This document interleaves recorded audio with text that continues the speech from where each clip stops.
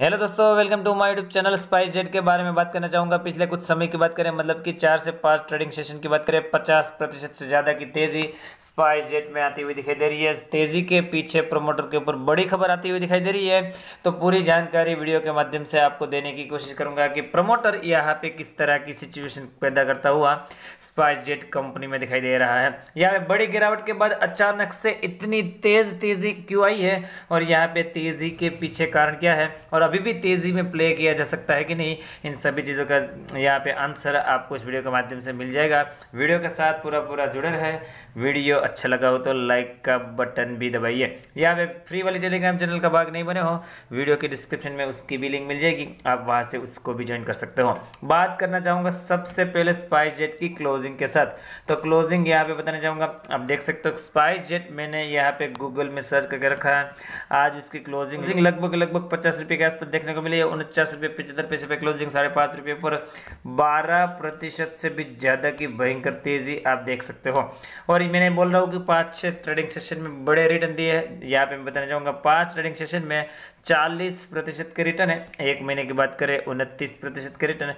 छः महीने की बात करें, अभी भी साढ़े सत्रह प्रतिशत माइनस है। 2022 में अभी भी सत्ताईस प्रतिशत माइनस है और एक साल की टाइम रीजन पे अभी भी बत्तीस प्रतिशत के नेगेटिव रिटर्न इसमें दिखाई दे रहा है। तो तेज़ी के पीछे कारण बताना चाहूँगा सबसे पहले तो यहाँ पे मैंने लाइव की वेबसाइट पे लेकर के आया हूँ और यहाँ पे बताया जा रहा है कि SpiceJet promoter Ajay Singh explore possibility of partial stake share release मतलब कि यहाँ पे बताया जा रहा है कि आपको पता होना चाहिए कि पहले स्पाइस जेट में यहाँ पे जो पैसे की समस्या थी जी हाँ यहाँ पे स्पाइस जेट नेट प्रॉफिट नहीं निकाल पा रहा था। इसलिए कंपनी के सर्वाइवल के लिए क्या था? ये पैसों की ज़रूरत थी और पैसे मिल नहीं रहे थे। परंतु यहाँ पे बताया जा रहा है कि अजय सिंह जो कि प्रमोटर है स्पाइसजेट के, उन्होंने अपनी हिस्सेदारी बेच करके यहाँ पे स्पाइसजेट के लिए मनी का इंतज़ाम करते हुए वो दिखाई दे रहे हैं। उसके ऊपर बड़ी अपडेट भी आ रही है। वो बताना चाहूँगा यहाँ पे बताया जा रहा है कि अकॉर्डिंग टू द न्यूज़ यहाँ पे जो बताया जा रहा है कि वेरियस इन्वेस्टर है, वो यहाँ पे स्पाइसजेट में हिस्सेदारी खरीदने के लिए तैयार है। यहाँ पे नाम भी बताया जा रहा है कि यहाँ पे मिडल ईस्ट कैरियर मतलब कि मिडिल ईस्ट की जो एयरलाइंस कंपनी है, बड़ी दिग्गज कंपनियाँ हैं, वो यहाँ पे जो स्पाइसजेट में हिस्सेदारी चौबीस प्रतिशत की लेने के लिए इंटरेस्टेड है।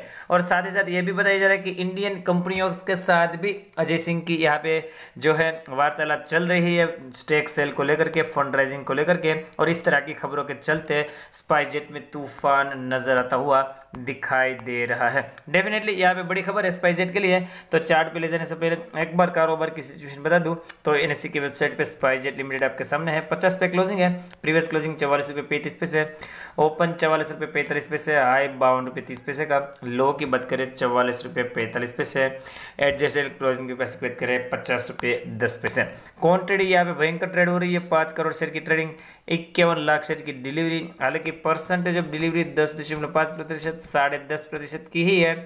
तो डिलीवरी कम उठती हुई दिखाई दे रही है, ज़्यादा ट्रेडिंग होती हुई जेट में नज़र आ रही है।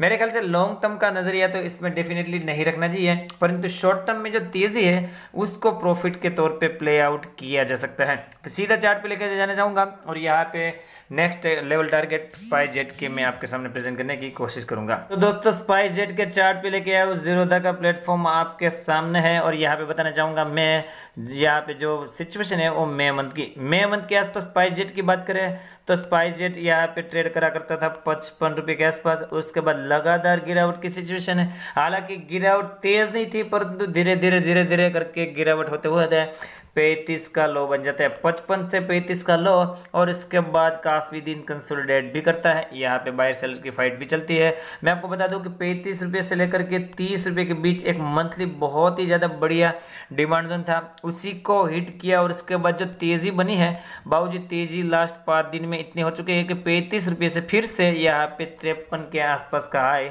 लगाता हुआ दिखाई दिया। लगभग लगभग पैंतालीस से पचास प्रतिशत के रिटर्न पाँच दिन में ही दे डाले हैं। मुझे लगता है तिरपन रुपये अपने आप में हडल है, क्योंकि यहाँ पे भी एक बार हडल फेस किया था। उसी के आसपास जाकर के आज यहाँ पे थोड़ी बहुत शेडो बनती हुई दिखाई दे रही है कैंडल पे।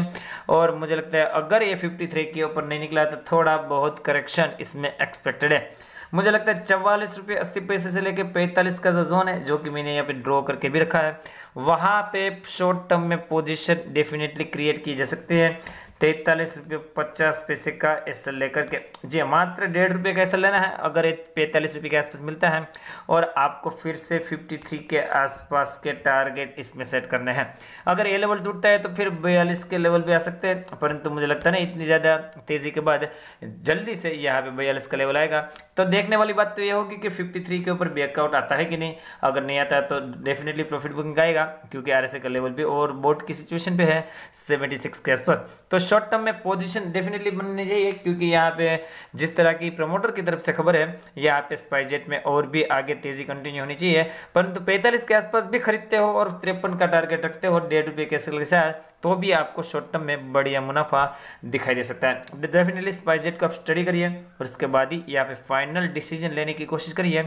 वीडियो अच्छा लगा हो तो लाइक का बटन दबाइए। चैनल पर नए हो तो ज़रूर से ज़रूर सब्सक्राइब कीजिए। मिलते हैं अगले वीडियो के साथ। तब तक के लिए thank you again for watching this video